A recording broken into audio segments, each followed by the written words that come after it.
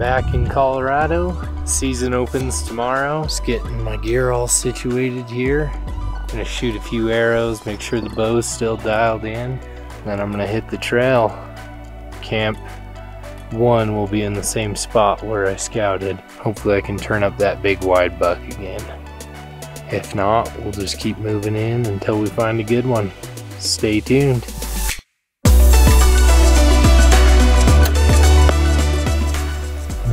Here's what 12 days worth of supplies in a backpack looks like.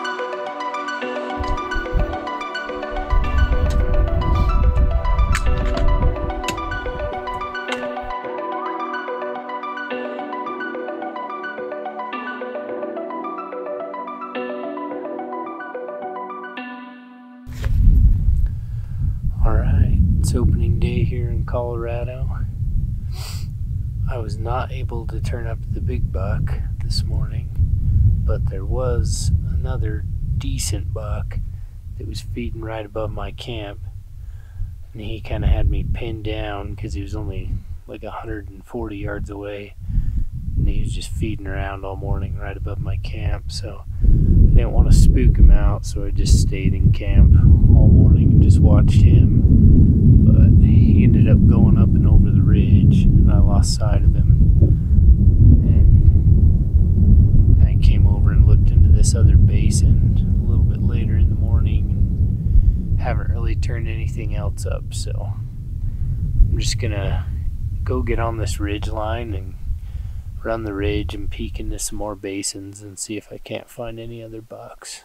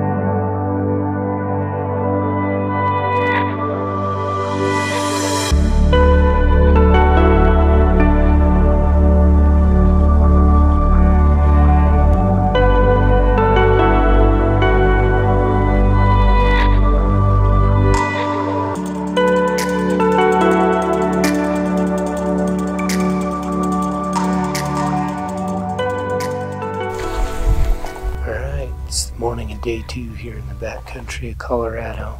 Yesterday, I hiked all the way over to this other drainage.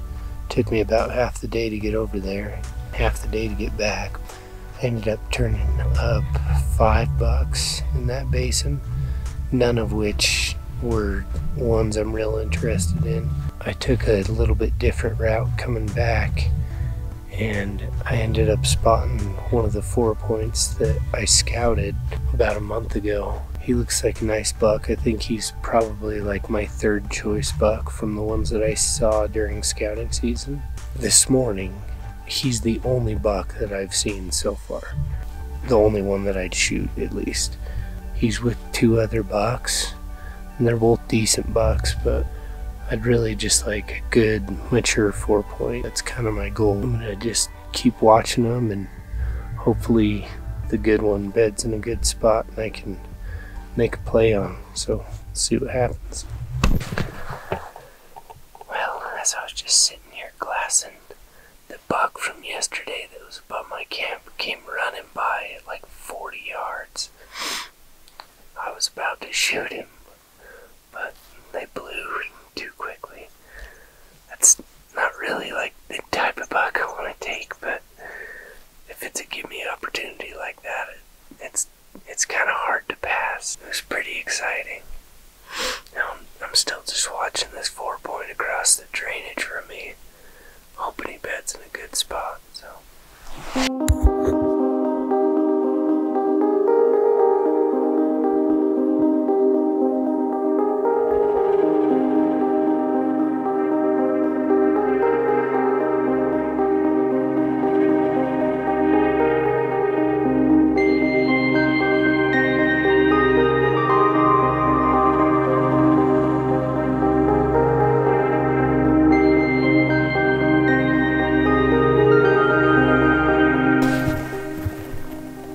just been watching that buck all day, and he's just been bedding and getting up and feeding and then rebedding. And he's done that about three or four times now, and he finally just rebedded in the same bed that he was in the last time he got up. So I think he'll stay there.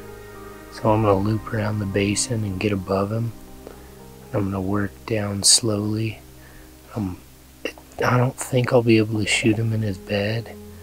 He'll probably have to get up and feed, so I might be sitting over there for quite a while before something happens, but you never know unless you try.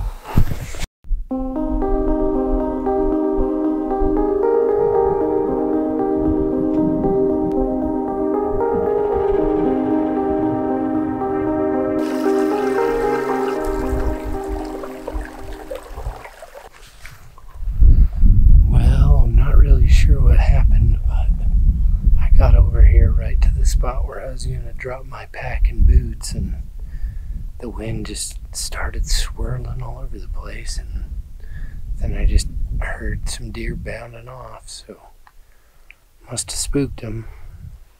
I don't know if it was the wind or they saw me or what. This spot is a lot closer to where they were bedded than I thought it was.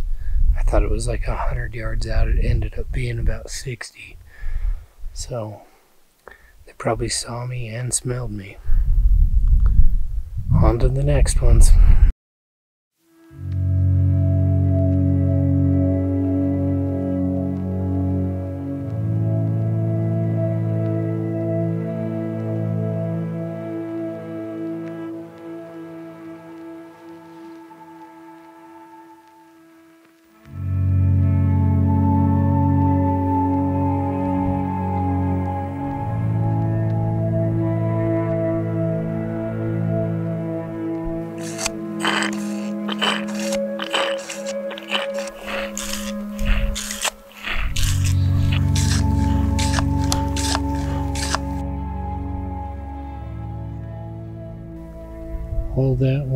Came from this seep right here.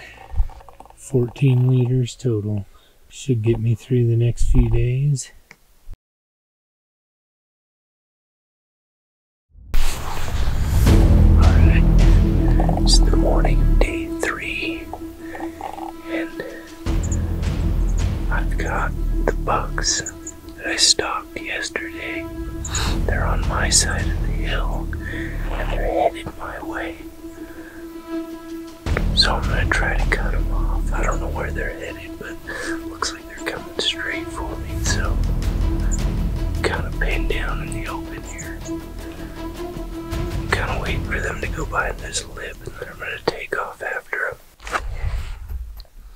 All right. Well, that almost worked out perfect. I ended up cutting those bucks off. The trail just went, took me right to them. When I first saw them, they were at 80 yards, just feeding in some willows. They had no idea I was there. And I snuck about 10 yards closer. I was at about 70 yards. And then I was just waiting for my opportunity. And for whatever reason, the big buck just looked uphill at me. I don't think that they winded me. My wind wasn't perfect, but it wasn't blowing straight to him. And I know he didn't hear me because I wasn't moving. And he mu- he must have just saw me. I was sitting in the shadows and he was in the sun, so I don't know how he could have seen me, but he must have. Must have just been shaking as he was staring at me, and for whatever reason, he did not like what what he saw, and they took off. So pretty unfortunate. Thought that was gonna be my opportunity to get a high country buck, but I'm sure there will be more opportunities. We've got a lot of time left, so not too worried about it. Man, that was that was an epic experience though. I love getting close to velvet muleys in the high country. That that is what this is all about to me. I love it. Oh man, that was awesome.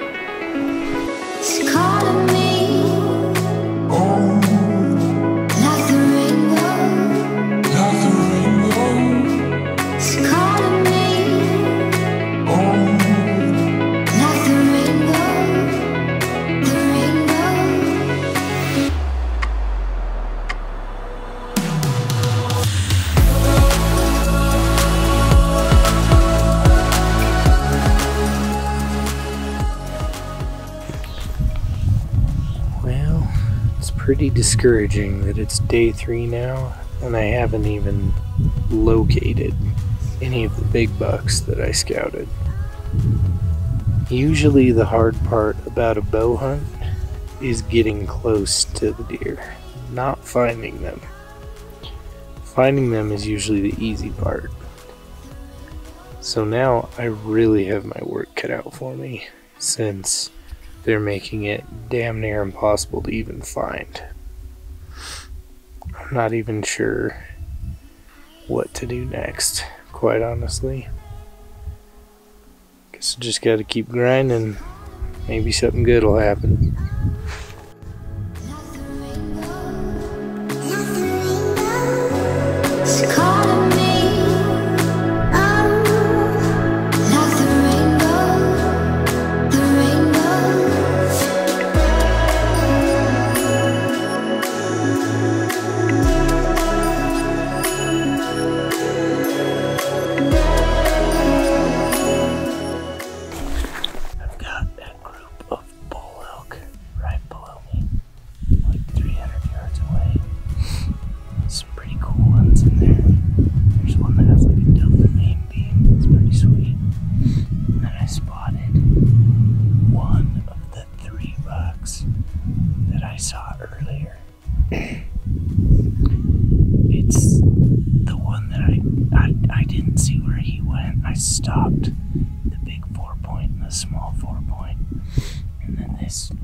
Weird like three point cheater looking thing.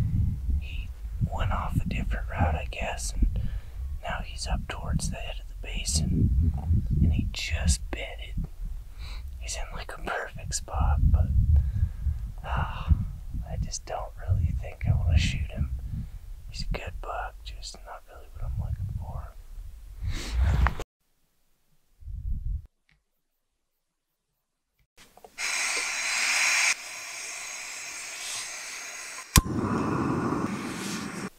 There's a rabbit right outside my tent. It's pretty cool.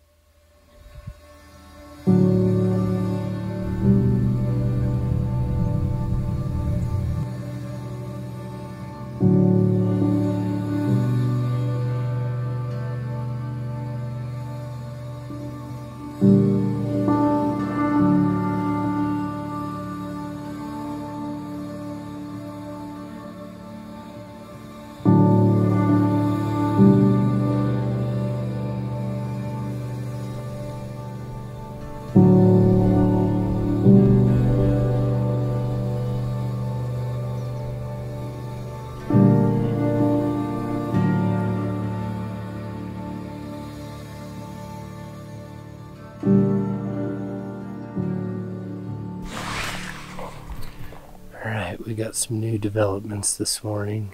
Spotted a lot of new bucks.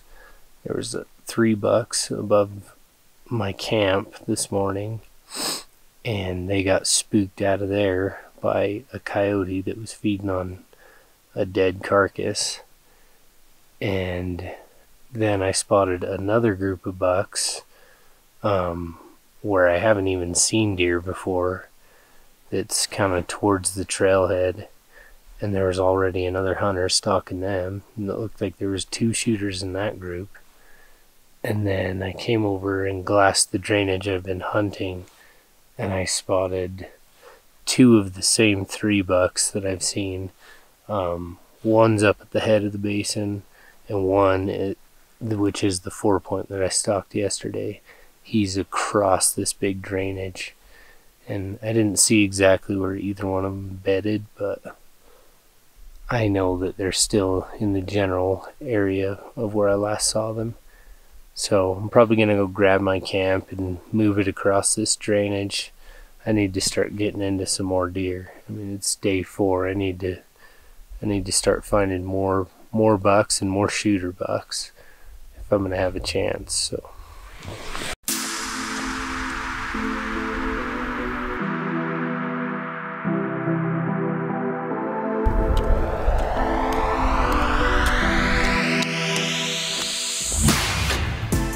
Just got camp number two all set up. Now I'm gonna go climb that hill behind me. I'm gonna try to relocate that four point from this morning. Let's go.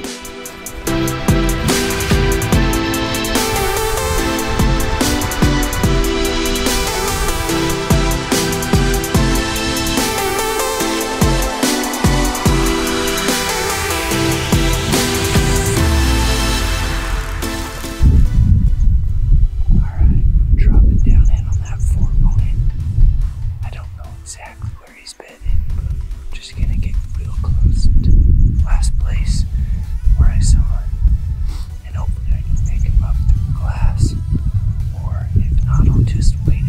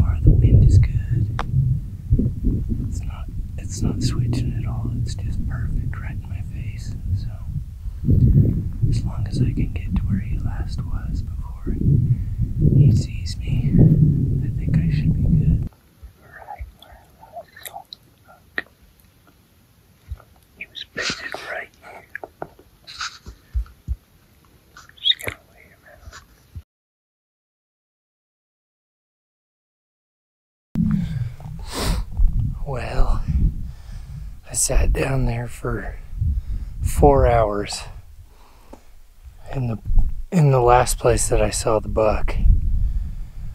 I have no idea what happened. He still hasn't fed out yet if he's still in there. My wind was good most of the time until it started to get shaded. And then the thermal started switching. So I wouldn't be surprised if he winded me, but I never heard him bust out of there, so he could still be in there. I have no idea. Regardless, I'm making my way up to this ridge so I can look down into this drainage. see if we can't find another buck. This basin is freaking huge. Oh my goodness. There's got to be a big buck in there.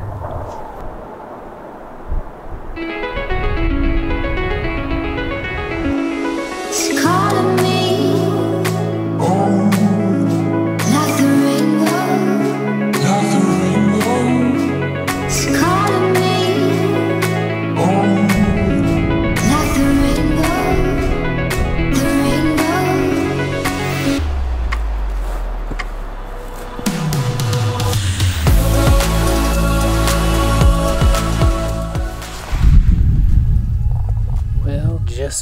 about to write this basin off, I was starting to think nothing lived in here.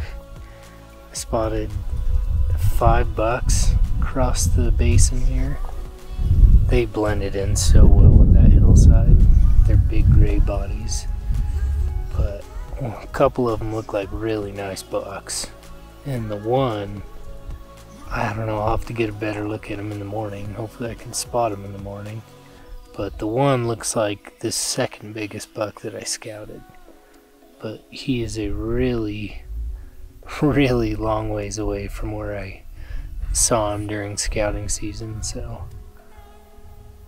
I would kind of be surprised if it is the same buck, but regardless, he looks big, and that keeps me optimistic for the mornings.